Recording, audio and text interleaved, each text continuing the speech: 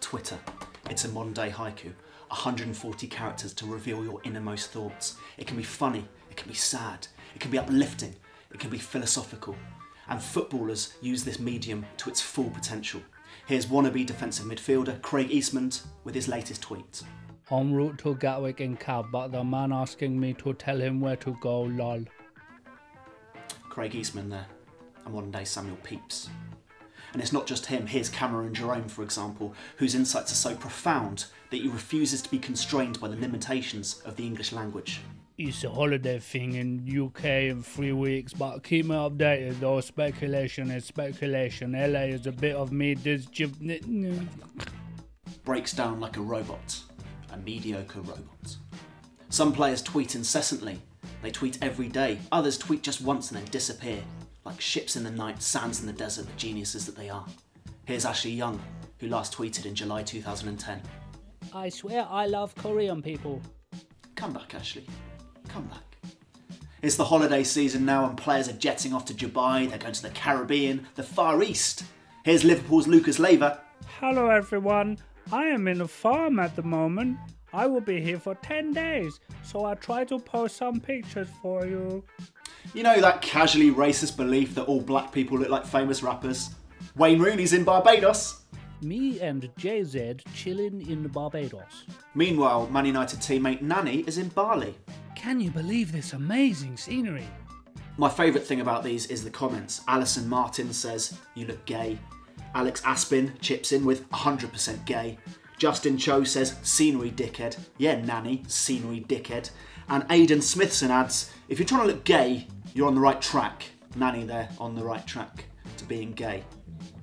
Back to Rooney now, and he's taken a picture of his son Kai on holiday.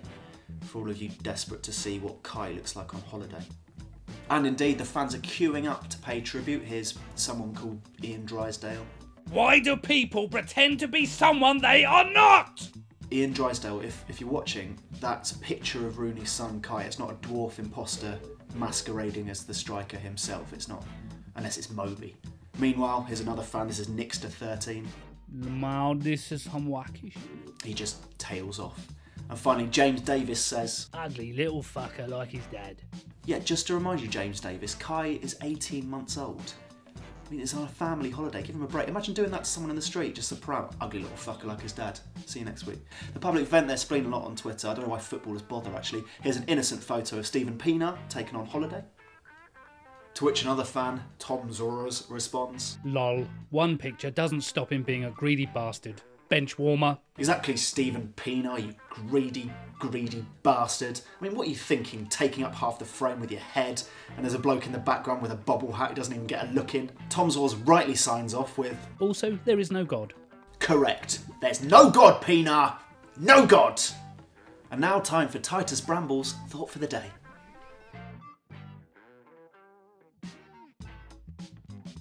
Time for some film reviews before we go. Former Portsmouth striker Danny Webber says Hangover Part 2, why bother? Wayne Rooney finds his intellectual peak. Just watching Finding Nemo with Kai. Didn't realise how good kids' films are. And finally, former Chelsea defender Juliano Belletti has found a new rival to Gone with the Wind. I watched a lot in this life. I guess nothing surprises me. But the trailer for the new Transformers movie? And now to play us out, here's Serge Gainsbourg's Je t'aime over the top of some of the more homoerotic footballing tweets I've discovered this week. Bye.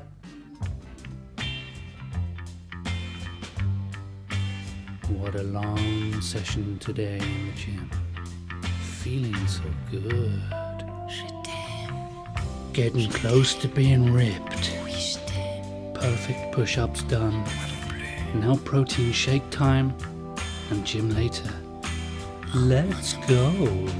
Jody Craddock, Yeah, do you do weights? If so, what?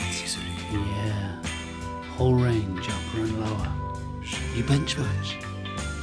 Depends what much is. There's a few beasts in the gym that I'm nowhere near. I swear I love Korean people. Curtis Davies, Yeah? what's your favourite flavour of Angel Delight? Uh huh. I'd have to say banana. Butterscotch close second.